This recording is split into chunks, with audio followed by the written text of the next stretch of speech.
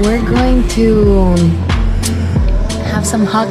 It's no secret that men are attracted to beautiful women, but there's a special case to be mentioned when it comes to actress Ana de Armas, who seems to amplify such notions of beauty to a degree I haven't seen before. Because ever since her role on Blade Runner 2049, there seems to be so many more memes and this idea being pushed forward of a strange, somewhat new fantasy, the perfect yet unattainable dream girl who can cure your lonely condition. Which makes me curious as to why this feels so attractive to watch and why it has ultimately become a huge selling point for any of her movies? The simplest answer is that by having her in your film, it automatically means more men would be interested in going to see them. But for some reason, perhaps because of the age of the internet and the meme culture that we live in, or maybe even just how she looks herself, this feels particularly distinct or more pronounced with Ana de Armas when compared to other attractive women in the past who have equally been seen as beautiful and unattainable. Because truthfully, yes, all attractive women in popular culture to a certain extent exhibit that same type of feeling the notion of being unattainable and a sexual object to aspire for or obtain. But the difference with Ana de to me also stems from that line from Blade Runner that says, You look lonely, I can fix that. With just those seven words, she is encapsulating certain groups of men and perhaps broader psychological characteristics or traits within other groups of men that subscribe to this idea of feeling lonely and searching for comfort in attractive women who appear beautiful, emotionally available, but ultimately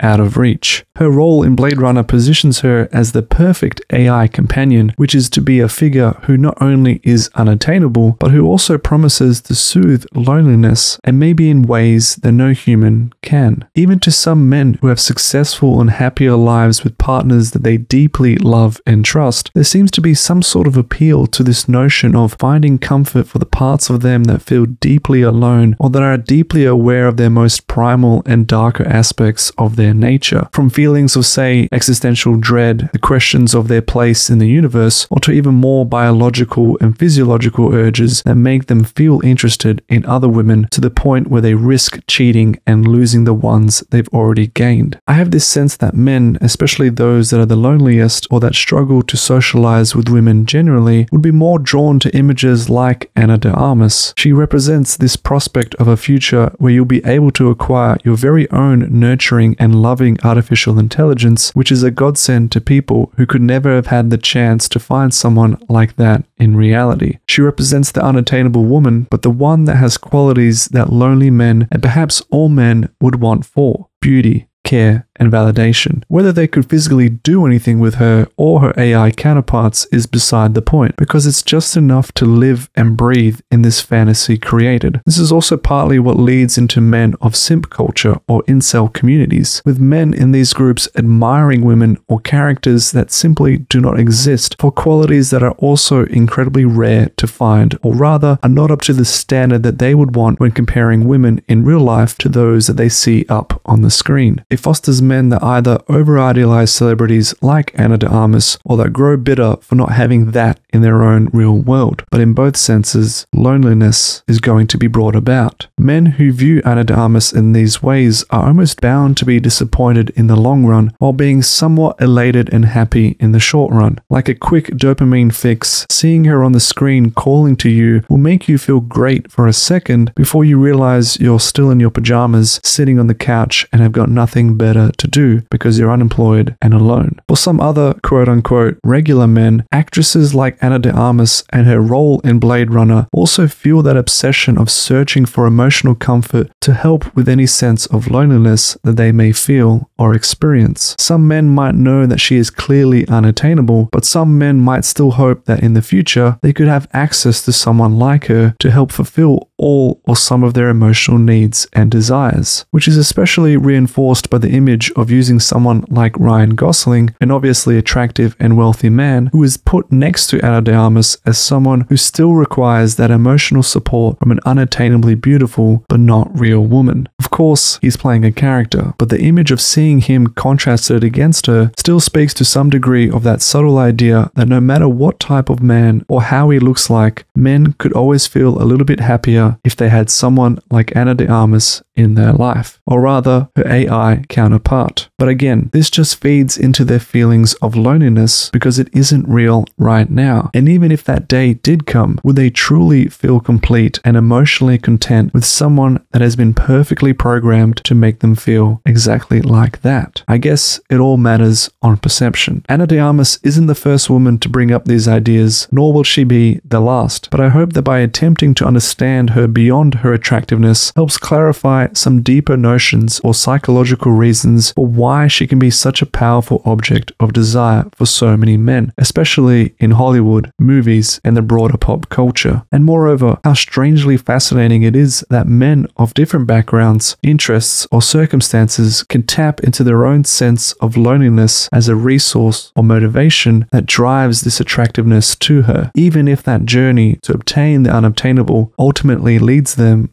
to not finally curing their loneliness, but to actually entrenching it even further. ¿Bailas conmigo? Te doy lo que quieras. Un masaje. ¿Tu cena favorita cuando lleguemos a la casa? Baila conmigo. You look lonely. Dormimos juntos.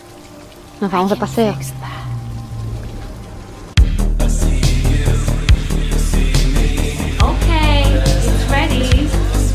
You're gonna like it.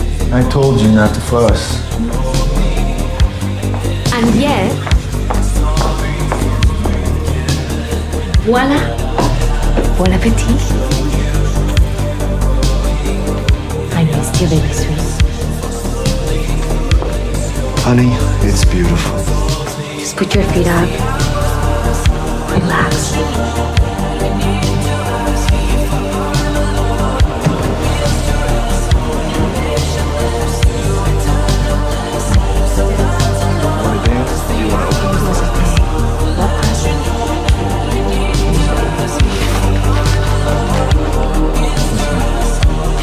Your? Just say it's our anniversary.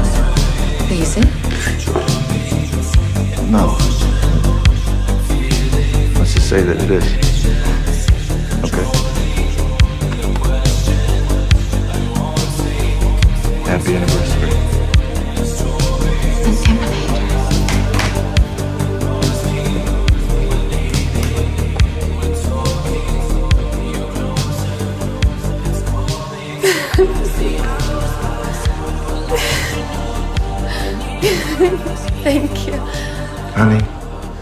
You can go anywhere you want in the world now. Where do you want to go first?